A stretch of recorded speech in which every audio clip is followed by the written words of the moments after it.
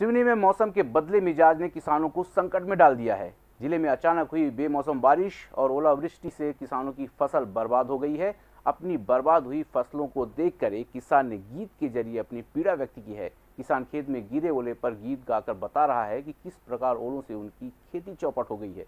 प्रदेश में मौसम का मिजाज एक बार फिर बिगड़ गया है। सिवनी के कई क्षेत्रों में अचानक तेज बारिश के साथ ओलावृष्टि हुई। आंधी तूफ़ान के साथ हुई तेज बारिश ने खेत में लगी फ़सल को चौपट कर दिया, जिससे अब अन्नदाताओं के माथे पर चिंता की लकीरें खिंच गई हैं। जानकारी के अनुसार ज़िले की तहसील लखनादौन, छपारा, घनसौर के ग्रामीण क्षेत्रों में अधिक ओले गिरने से किसानों के चेहरे मुरझाए हुए हैं। कई क्षेत्रों में तेज बारिश में ओले लगभग पाँच मिनट तक गिरे, जिससे फ़सलों को काफ़ी नुकसान पहुँचा है।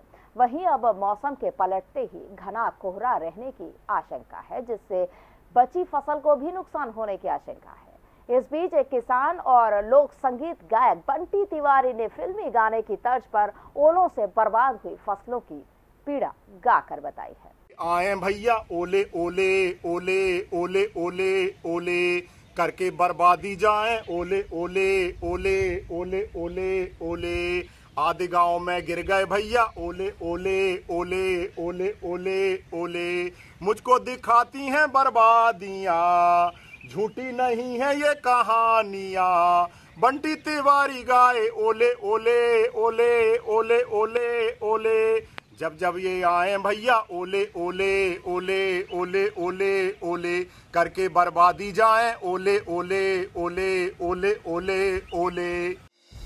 संगीत की स्वर लहरियों से सांस्कृतिक ताने बाने तक चंबल के पीड़ों से नक्सलवादियों के गढ़ तक झोपड़ी से महलों तक ठेलों से मेलों तक पगडंडियों से सड़कों तक गाँव से शहरों तक व्यापार से उद्योगों तक। राजनीति से कूटनीति तक। दखल न्यूज़। आपके हक।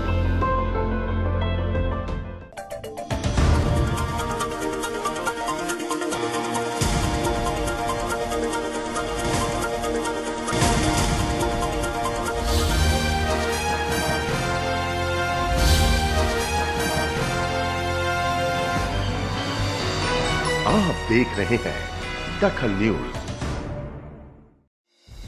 संगीत की स्वर लहरियों से सांस्कृतिक ताने बाने तक चंबल के पीड़ों से नक्सलवादियों के गढ़ तक झोपड़ी से महलों तक ठेलों से मेलों तक पगडंडियों से सड़कों तक गाँव से शहरों तक व्यापार से उद्योगों तक। राजनीति से कूटनीति तक। दखन न्यूज़।